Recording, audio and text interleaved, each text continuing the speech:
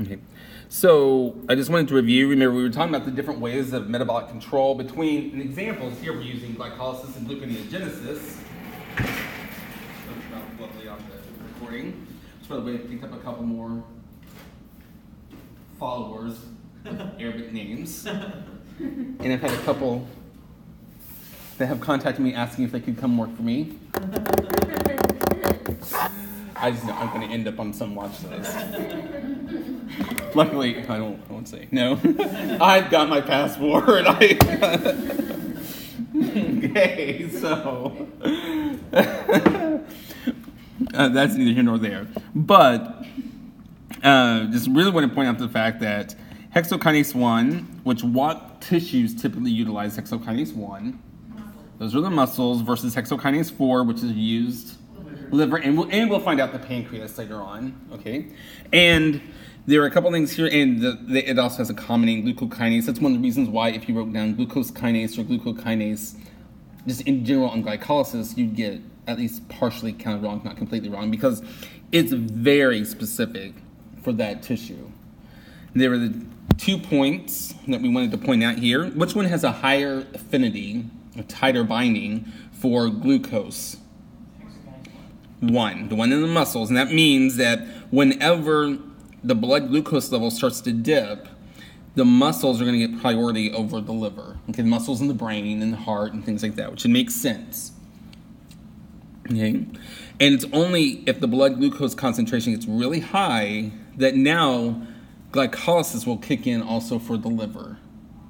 Okay, and it always has. You can see it still has a lower um, catalytic efficiency than hexokinase 1 throughout. You know, it's never as good. And the second, because remember, what's the second one? Most people can remember that part, but what's the second thing that makes hexokinase 4 so different than hexokinase 1? This is really important. What can it do that the other types can't, technically 1 through 3, but what is it not affected by?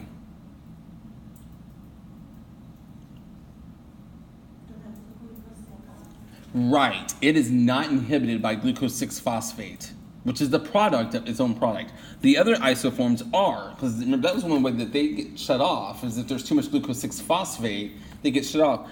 Glucose 6 phosphate doesn't affect the one that's in the liver and the pancreas.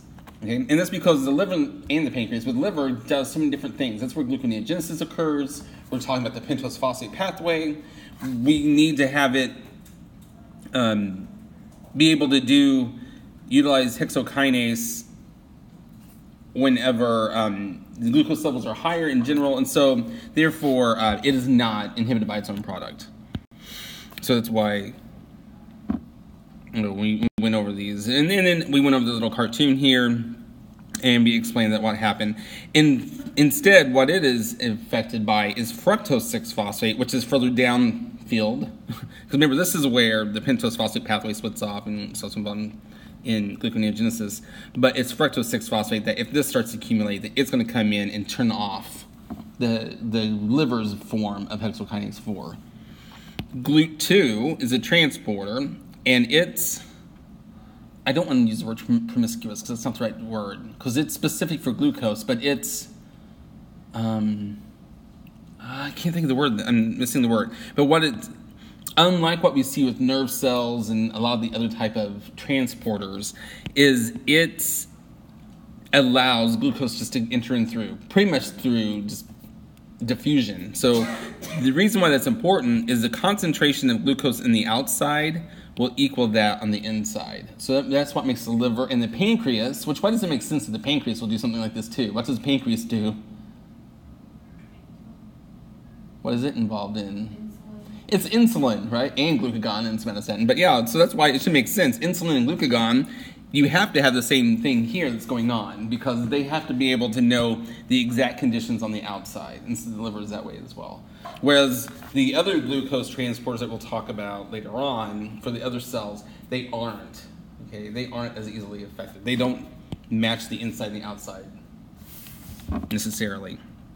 Okay, now this is where we're up. to here. And this is fructose, um, I'm sorry, fruct, phosphofructokinase 1, PFK1, versus its antagonistic enzyme in gluconeogenesis, which was FDPase1. I'm going to call it FDPase1 a lot of times instead of saying fructose 1 6 bisphosphatase. In general, what do phosphatases do? They remove phosphates, usually in the form of inorganic phosphate. Whereas a kinase, as we already know, they transfer phosphates at the expense, or utilize, I should say, utilizing ATP, GTP. Um, those are the biggies. These are antagonistic.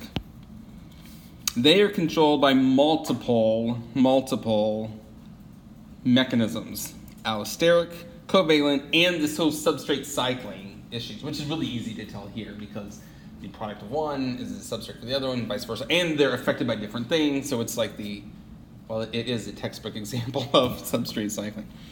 And they are reciprocally regulated, which means when one's turned up, the other one's turned down, and vice versa. Okay. So,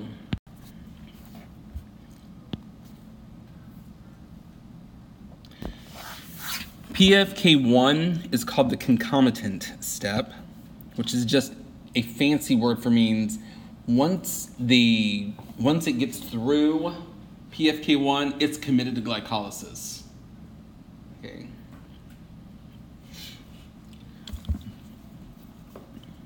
So besides that, there I mean there are lots of regulatory binding sites which allows for fine tuning, which makes sense. If it's what's really dictating what's making the pathway proceed towards glycolysis versus any of the other splitting off pathways or branches, then you're going to want to be able to fine tune it. Right? Uh, and so we're going to talk about like what are some of the activators and inhibitors, and some of these we've seen before.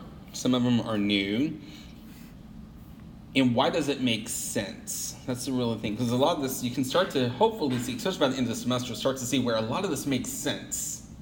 Really hoping you put that together. And then the it can be covalently modified by phosphorylation. Okay. So here we go. This is just kind of a poor man's version of a no Michaelis-Menten kind of equation that we've seen, a reaction that we've seen in the past. So we have the enzyme activity versus the concentration of fructose 6 phosphate, okay, versus its substrate. When there's hardly any ATP around, we see this formation. When there's higher concentration of ATP, we see this kind of formation. So what I'm going to start with the high ATP one. What shape is this curve right here? Sigmoidal. This one, there's a little bit, but it's much less sigmoidal than the other one. It's more, what's the, op, not the opposite, but what's the other shape called? Hyperbolic. It's much more hyperbolic. There's a little bit of a lag. And this is like the classic sigmoidal. Does anyone remember what does that shape tell us when it's sigmoidal? Cooperative, either negative or positive cooperativity. Okay or allosteric, just in general. Mm-hmm. So, is ATP an activator or is it an inhibitor of this reaction? Oh, we got a debate. So, which one gives you more activity, low ATP or high ATP? Low ATP. So, ATP is an inhibitor which should make sense. Why does it make sense that ATP would be inhibiting PFK1? Right. That means if you have a lot of ATP around, you don't need to be making more energy. You want to start to store it or use it for other things. Okay, so um, which makes sense. Whereas if you have low ATP around, that means you need more energy. Okay, so you want to upregulate PFK1.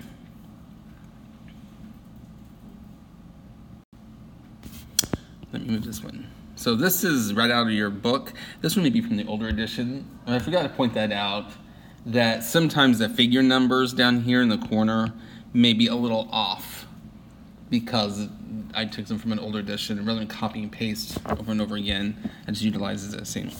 This is just, you know, the um, reaction generated by PFK1. So we have fructose 6 phosphate ATP making fructose 1,6 bisphosphate ADP. We've already talked about ATP, and that means it's turning it off. AMP and ADP turn it on, and those were important because we already said in the past how when ATP is hydrolyzed, it makes one of these two. Okay, and so it should make sense if the concentrations get really high here, it's going to turn on this enzyme because that means that the concentration of ATP is low. These are the two new ones that we haven't really talked a lot about. Okay. So one of them is citrate. One is fructose 2,6 bisphosphate, not 1,6, but 2,6 bisphosphate.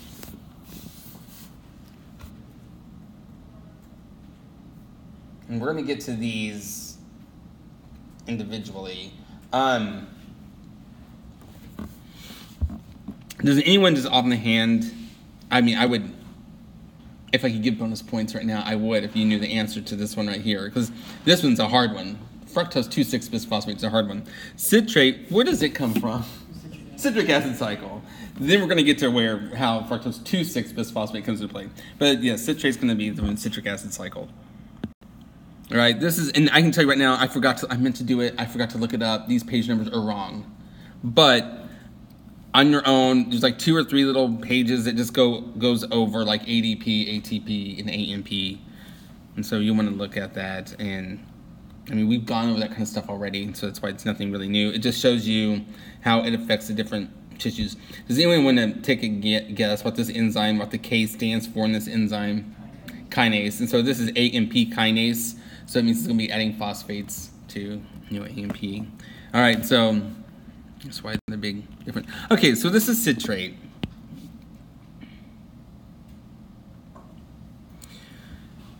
So we have the citric acid cycle. It's one of the first steps of the citric acid cycle. and remember, this is for aerobic oxidation of pyruvate. There were three possibilities for pyruvate for some organisms. For us, there, there are two.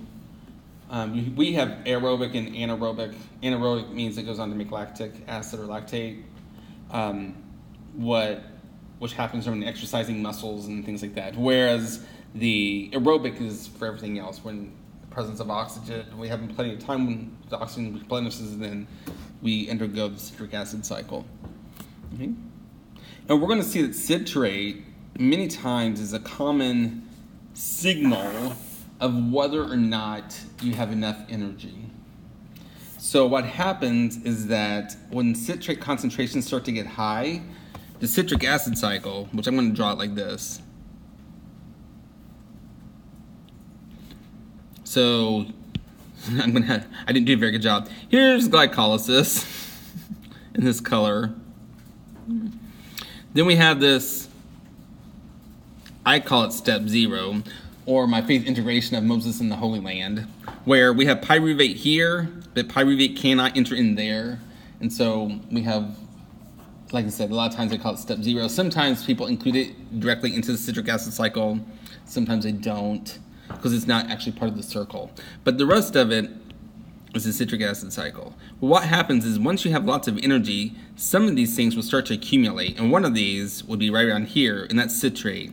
So when citrate starts to accumulate, it's going to go back and stop some of these other enzymes further upstream. And it's not just glycolysis that it'll affect. It also starts to affect things like the oxidation of fats, the oxidation of proteins, where you get other energy from whether you need to store energy or whether you need to make more energy.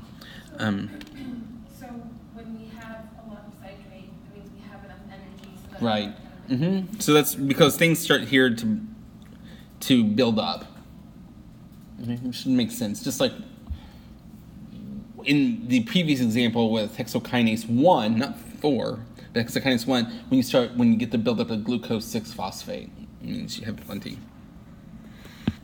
This is just a little cartoon showing this. Same thing. And so on, on your own you can look look through it. It's this little cartoony looking thing. All right. Here's the fructose 2,6 bisphosphate. And this one, unfortunately, is a busy slide, but there's not a whole lot I can do about that. Okay, I want to give you a moment. You may even want to, I don't know if you want to draw the little diagrams or something. But give me a moment to also get a drink. To look over all of it before we start to explain it. So now we're going to talk and spend multiple slides talking about fructose 2,6 bisphosphate because it regulates both PFK1 from glycolysis and FBPase1 from, which is fructose bisphosphatase 1 from gluconeogenesis. And this is a player that we haven't talked a lot about, which is glucagon. In fact, I don't know we might have mentioned it in passing when we talked about something else, just a time or two, but we really haven't talked much about glucagon at all. And then we're talking about the enzymes, and this is rather than having to keep writing out and saying fructose 2,6 bisphosphate, we're going to have F26BP because it gets to be quite wordy. Right. So first of all, let's just look at the curves, and then we'll talk about glucagon and everything. So this right here is PFK1. So what metabolic pathway is that one out of? That's glycolysis. So this is just the relative activity, how much Vmax it is, the fastest it could get of that as a function of its substrate.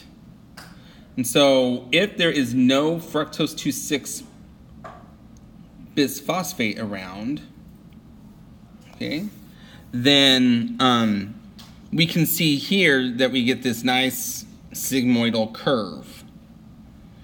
In the presence of fructose 2,6 bisphosphate, that curve gets shifted dramatically. Please note, this is, I mean, a huge shift. That's why they're showing, is this isn't a KM because this is only Vmax, but it's showing what would be it, it, is a it is a capital K, but they don't call it K. But it's similar to that, right? Here it was two, the K was two. Here, you know, it's what was that 0.07 or whatever. But it shifts it drastically to where anytime there's F26BP around, this enzyme is much more active. So glycolysis is going to be turned on or turned off in the presence of fructose 2,6 bisphosphate. It's turned on because that means it's more active. Now, if we look at FBPase1, which is gluconeogenesis, whenever fructose 2,6 bisphosphate is around, it's much less active. So it's relatively turned, I shouldn't say it's not completely turned off, but it's downregulated. It's more inhibited, this one's more activated.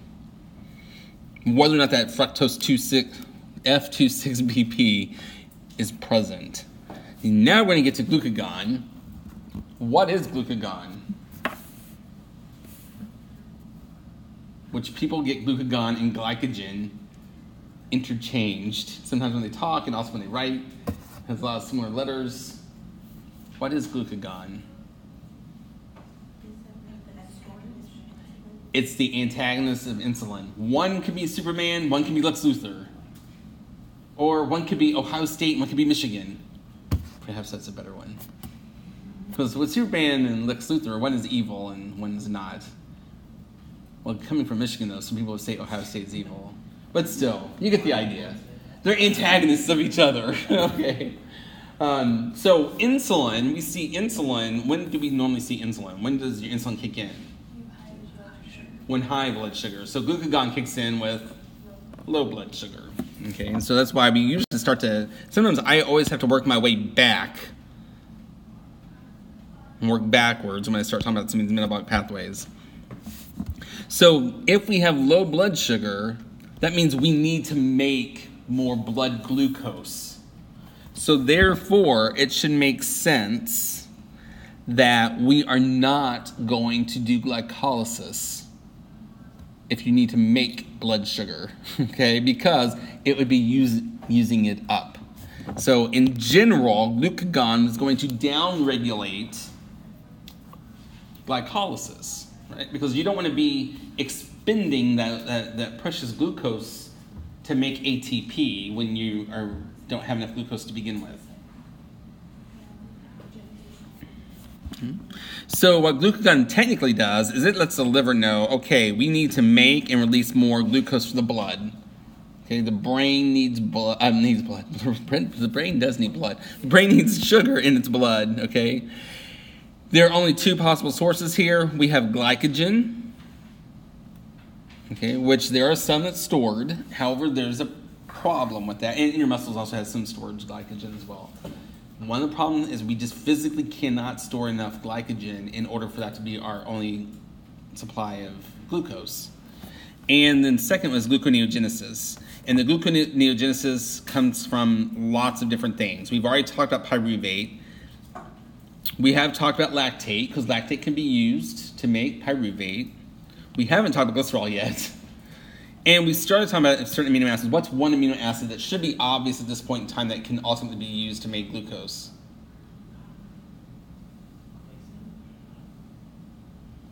Because if, remember, for glucose, what's the starting point for gluconeogenesis?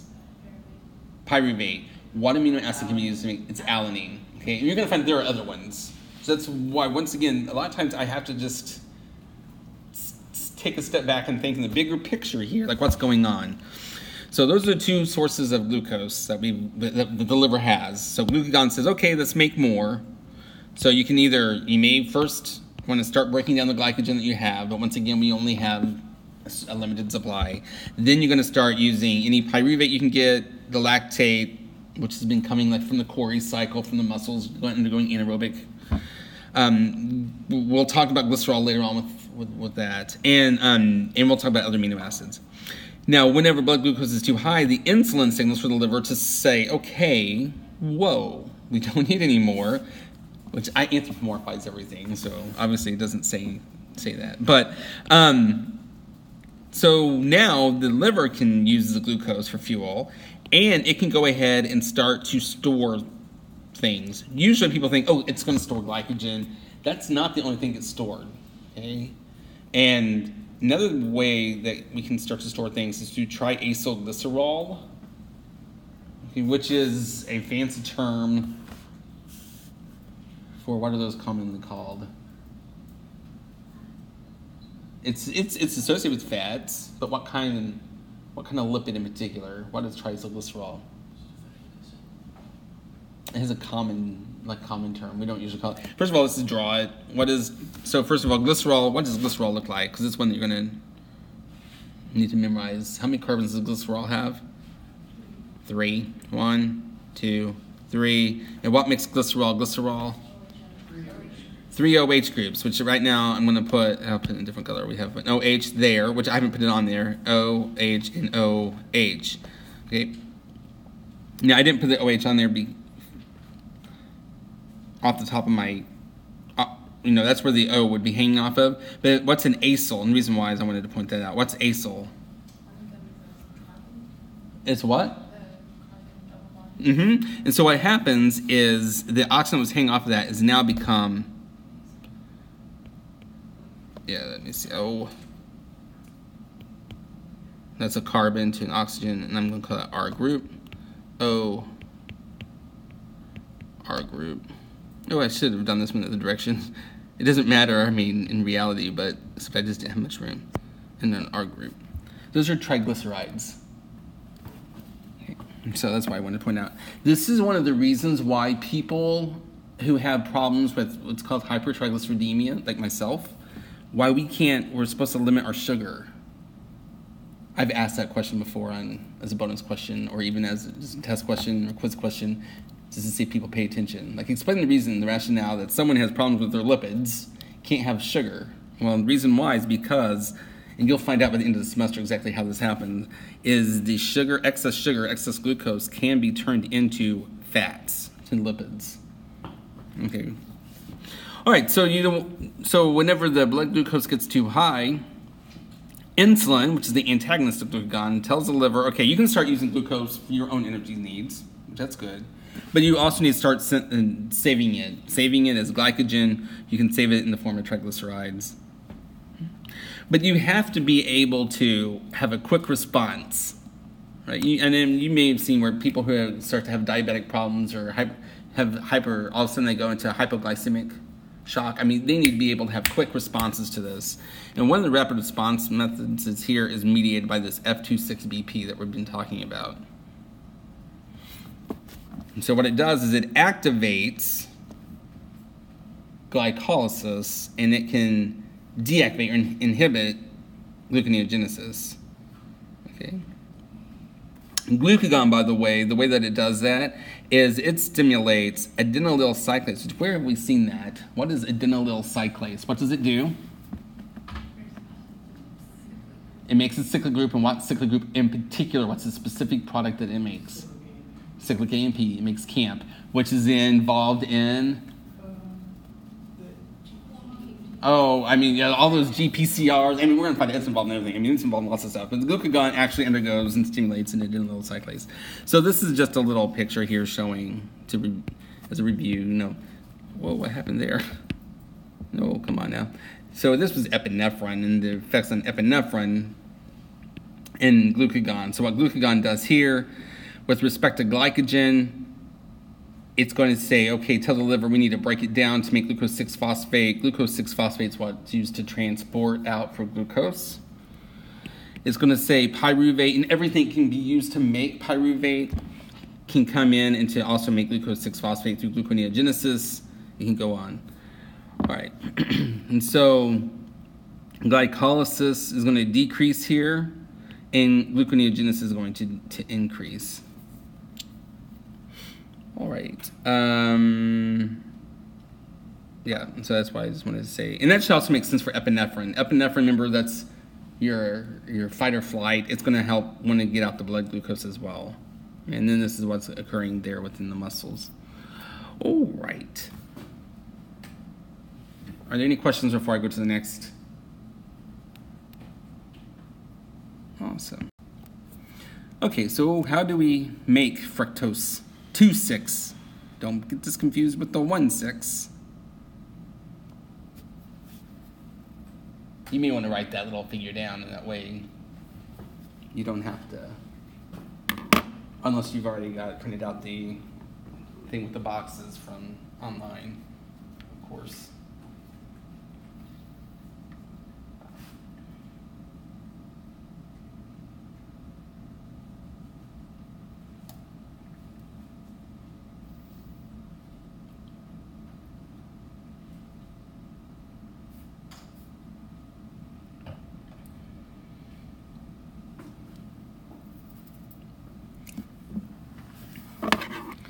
This is you don't have to write this part down. This is just a review from glycolysis or and gluconeogenesis does that matter.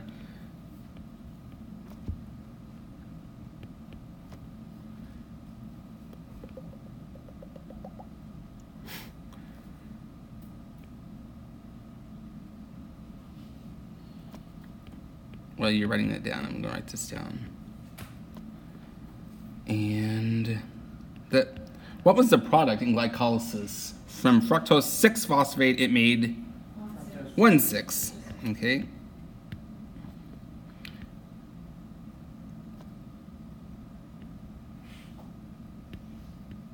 Okay, so this is from glycolysis and gluconeogenesis. All right, so if we do a review of it, we had fructose 6 phosphate, we made fructose 1 6 bisphosphate at the expense of an ATP. This would say ADP. That was really crappy looking. ADP. First of all, what class or classes of enzymes can do this? Kinase. What was the name of this kinase? Okay, this is phosphofructokinase. Do you remember what else? One. Okay. Hmm, we'll find out. All right. And then just to review from gluconeogenesis, we had, you know, phos- uh, fructose 1,6 bisphosphate goes to make pho- F6P. it kicks off an inorganic phosphate. So what class or classes of enzymes does that? That was a phosphatase. Does anyone remember what one that one was called? Okay. Mm-hmm. Which they a lot of times they abbreviated this way. But it's fructose 1,6 bisphosphatase. Do you remember anything else? One. okay, that's a good review. So here we have fructose 6 phosphate making fructose 2 6 bisphosphate. And so what class or class of enzymes is this? That's correct. This one is PFK too. that's the significance of it. So if we look at the other side, and that's why hopefully you start to see the, the rationale there, we have fructose 2,6 bisphosphate kicking off an inorganic phosphate to make the fructose 6 that one.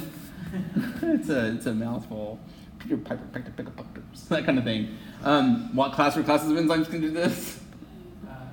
Phosphatase, and so this one would be FBPase two.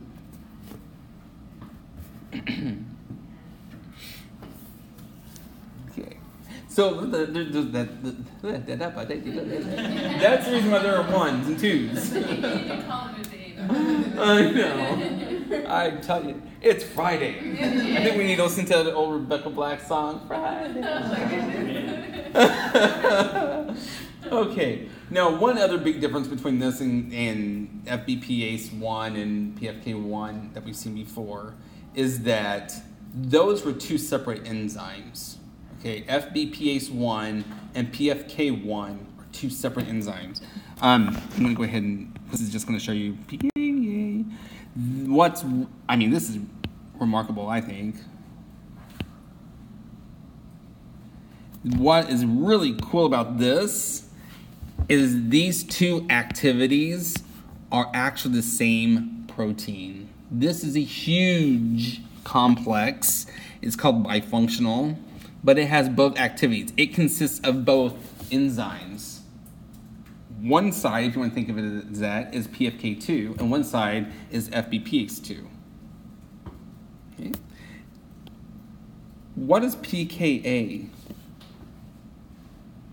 We've seen it before. It's protein kinase A. Protein kinase A got activated by what second messenger? Cyclic AMP. Cyclic AMP got created by what enzyme? Adenylyl cyclase. So that's why we're starting to see that this over and over and over again. And so what happens is this pro- this protein, this huge protein. I've got a better picture coming up. I, I, have got a much better picture coming up. Um, this protein, you can kind of picture because I don't want to give it all away. Is it's got two sides. Okay, one of them is the PFK2 side, and one of them is FBPase2 side. And depending on whether or not it's phosphorylated, one side is activated. When it's phosphorylated, one half is activated. When it's not phosphorylated, the other half is activated. So something so simple like that dictates whether it's going to make F- fructose 2,6 bisphosphate or if it's going to make fructose 6 phosphate. Okay, remember, the fructose 2,6 bisphosphate will then go ahead and go on to activate glycolysis and turn down gluconeogenesis and, and things like that. Okay, so now the little cartoon to show all of this. And I didn't put boxes on this one because we've seen one of these enzymes. I should have. Just because you could have figured out some of the names of the enzymes here that does it. I mean, this is these are the two enzymes that activate the enzyme that act. so you can start to see it. I'm actually going to start with this other side, the right hand side, because what happens here? Oh, whoops! I didn't mean to do that. I thought I was on a. No, didn't mean to do that either. Sorry. Here, we don't have. Um, the phosphate on, and so it's PFK2 that's active. So when PFK2 is active, then um, we're going to go ahead and undergo the process of making uh, the fructose 2,6 bisphosphate. Okay. Now, this CAMP dependent protein kinase is just a really long term and fancy way of saying PKA, right? Protein kinase A, and the A is because it was turned on by CAMP. And so what it does is, of course, it since it's a protein kinase, it has to utilize an ATP to ADP, and what it's going to do is then it's going to be phosphorylating stuff. And one of the things that phosphorylates is this big complex here. Whenever it's phosphorylated, now the FBPase2 site is active. So therefore, it's going to inhibit glycolysis and stimulate gluconeogenesis. Okay. Now I'm going to come back to this. So this was kind of have to work backwards. This is PKA. PKA is turned on, activated by CAMP. CAMP got activated by psych, by the adenylyl cyclase, and adenylyl. One of the things that activates adenylyl cyclase is glucagon. Okay, so therefore, glucagon means we've got we need we have low blood sugar. So low blood sugar is going to activate this entire process in order to make the FBPase2 active. FBPase2 then can undergo and be used to, you know, ultimately inhibit glycolysis and stimulate gluconeogenesis, in a sense to make more glucose. Now, on the opposite side, we have insulin, which is the antagonist to this, and insulin's going to activate, and this is one we haven't talked about, but you you can figure figure out the class of enzymes because it's just removing a phosphate in the form of inorganic phosphate, so therefore it's a phosphatase. And this one has the generic name of phosphoprotein phosphatase, so that means it's relatively um, promiscuous. Just like protein kinase A has a generic name because it's relatively promiscuous, and so it does the exact opposite. And so now we've turned PK, PFK2 active. It's going to stimulate glycolysis and inhibit gluconeogenesis. All right. Finally, oh. oh boy. All right. I just want to quickly go over pyruvate kinase, which was step 10. In here, it's regulated a little differently in the sense that we have, well, actually, a little differently than the one that we just talked about. It is similar in the hexokinase in the sense that we have an isozyme that's specifically for the liver. We have one that's for the muscles. So then what happens here is, in, I'm going to start here with the liver. Glucagon turns on PKA, which we've just seen through a couple steps removed. But what it does is it's going to phosphorylate pyruvate kinase L, the one that's in the liver. By phosphorylating it, the liver now is inactive Okay, so that way it doesn't, it can't undergo glycolysis on its own, but it allows for glycolysis to occur elsewhere. Okay, or I should say, it allows for the sugar to be elsewhere. Right now, then what happens is this PP is that phosphoprotein phosphatase that we just saw in the previous one, and it does the exact opposite. Whenever it gets turned on by insulin because blood glucose is high, then the liver can also then go ahead and be undergo its own you know, energetic needs, can take care of things. And then this is everything that does glycolysis. And we've seen all of these before, whereas, whereas fructose 1,6 bisphosphate can activate the further downstream because we only have lots of it at the end of step three in glycolysis, which was that concomitant step, remember? The one that dictates it, it's going to go on. And then things that turn it off alanine turns off glycolysis, turns off the kinase, which should make sense because if you have lots and lots of alanine, that means we had lots of pyruvate. So we don't need to make any more. And then some of the other things, ATP turns it off, which should also make sense because it means we have lots of energy, so we don't need to make any more pyruvate. Some of the ones that don't may make may not make sense at this point, but hopefully later on, is acetyl CoA. Acetyl CoA is the product of pyruvate going on to try to go towards the citric acid cycle. It's also the product of when you start to break down fats. So if you have a lot of acetyl CoA, that means you've got a lot of energy around. And if you have a lot of fatty acids, then you're going to shut down glycolysis because you don't need it. Your body's going to be able to utilize your fats, all that extra fat that's around. Okay. Right. Glycogen. We actually I went down glycogen. I don't know how far we'll get on this, but we'll go. We'll do what we can today in the last couple minutes. Like I say, a lot of these you can actually start to figure out on your own. So the rest of this chapter will be, there's not very many slides left. There will be on the game for the exam, but like I said, there's there's not a whole lot that you can should make should start to make sense. Okay, so glycogen, the way that it works is we're going to synthesize it. It comes from UT. Whoa, sorry about that. It comes from UTP rather than ATP, but it does it a little differently.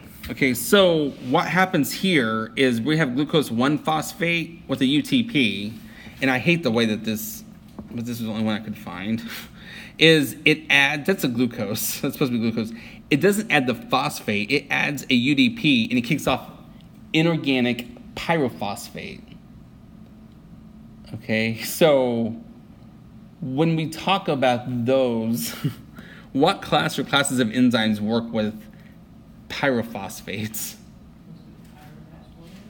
There's a pyrophosphorylase, and so this one is UDP glucose pyrophosphorylase. And the reason why this is not a kinase is because it's not the phosphate that's being added.